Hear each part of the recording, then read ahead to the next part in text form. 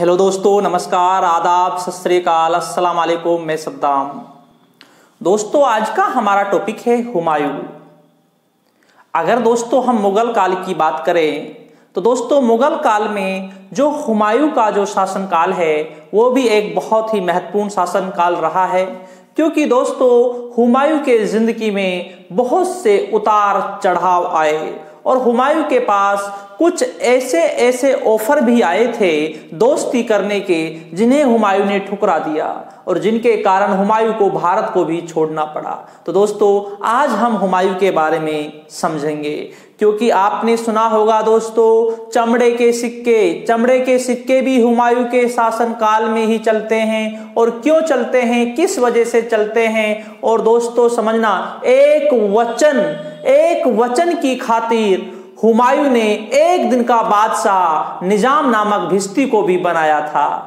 तो समझेंगे दोस्तों, विस्तार से किस लिए बनाया था? निज़ाम नामक भिस्ती ने हुमायूं के ऊपर कौन सा एहसान किया था जिसको हुमायूं ने चुकाया था? और हुमायूं को भारत क्यों छोड़ना पड़ा? हुमायूं को ईरान क्यों जाना पड़ा? तो दोस्तों, सारी चीज़ों के बारे में विस्तार से हम समझेंगे। समझना दोस्तों सबसे पहले दोस्तों, हम थोड़ा सा बाबर के बारे में समझेंगे। सबसे पहले हम थोड़ा सा बाबर के पास आएँगे। क्योंकि समझना, क्योंकि ये हमारे लिए जानना बेहद ज़रूरी है। क्योंकि दोस्तों, जो बाबर के जो संताने हैं, बाबर ने बाबर ने हुमायूं को कौन सी वसीयत दी थी? वसीयत शब्द को आप याद रखना कि मरने से पहले क्या वचन दिए थे जिनका हुमायूं ने पालन किया था और उन पालनों की वजह से भी हुमायूं की ज़िंदगी में बहुत से उतार चढ़ाव आए थे। तो दोस्तों, हम समझेंगे। समझना, दोस्तों, बाबर के सबसे बड़ा जो पुत्र था, उसका नाम था हुमायूं था। सबसे बड़ा पुत्र का नाम था हुमायूं था, ठीक है ना? हुमायूं की जो माँ का नाम, हुमायूं की माँ का नाम था माहम बेगम था, माहम बेगम। ये हुमायूं का सबसे बड़ा पुत्र था। इसके बाद दोस्तों, कामरान कामरान नंबर दोस्त, अस्करी दोस्तों, कामरान अस्करी अस्करी, कामरान अस्करी, ठीक है ना? इनकी माता का नाम था दोस्तों, गुलरुख बेगम गुलरुख बेगम बेगम। इसके बाद दोस्तों, नंबर अगला है, चौथा है हिंदाल। नंबर चौथा है हिंदाल। जिसकी माता का नाम था दिलदार बेगम। दिलदार बेगम, ठीक है ना? यहाँ तक दोस्तों कंप्लीट हो जाता है। क्योंकि यह आपके लिए समझाना इसलिए ज़रूरी है, क्योंकि बाबर ने क्या वशियत दी थी? हुमायूं के लिए। तो ये हुमायूं के जो चार भाई हैं, ये भी समझना बेहद ज़रूरी है, क्योंकि हुमायूं के शासन काल में इनका भी एक, या हुमायूं की असफलता की बात करें तो दोस्तों इनका भी एक भूमिका काफ़ी हद तक रही है। और हुमायूं ने अपना पिता बाबर की जो वशियत थी, उसके अनुसार काम किया था, समझना। बाबर ने बाबर ने अपने पुत्र हुमायूं से कहा था, बेटा बाबर ने अपने पुत्र हुमायूं से कहा था, बेटा, मेरी मृत्यु के बाद अपने भाइयों के साथ अच्छा व्यवहार करना। अर्थात उन्हें भी शासन में कुछ हिस्सा देना।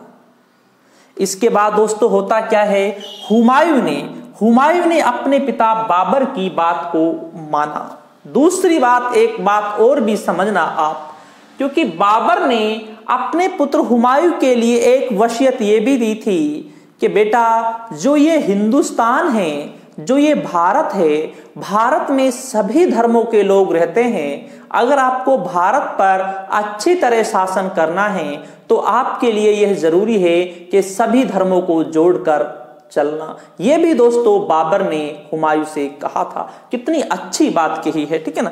अब हम वशियत की बात करें तो दोस्तों बाबर ने हुमायूं से कहा था, मेरी मृत्यु के बाद अपने भाइयों के साथ अच्छा व्यवहार करना, अर्थात उन्हें भी साम्राज्य का हिस्सा देना। अब दोस्तों बात समझना।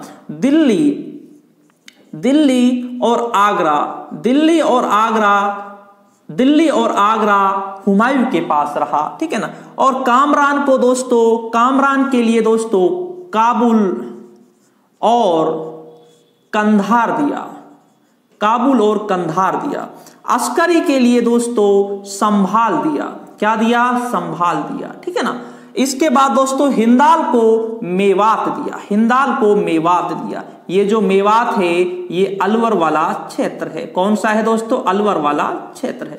अब आप समझना हुमायूं ने अपने पिता की वशियत का पालन किया और हुमायूं ने अपने साम्राज्य का विभाजन किया। हुमायूं खुद के पास दिल्ली और आगरा रह गया। हुमायूं के पास, खुद के पास दिल्ली और आगरा, जो मेन राजधानी हुमायूं के पास रही। ठीक है ना? कामरान के लिए काबुल और कंधार का क्षेत्र दे दिया गया। और अस्करी के लिए संभाल का क्षेत्र दे दिया गया।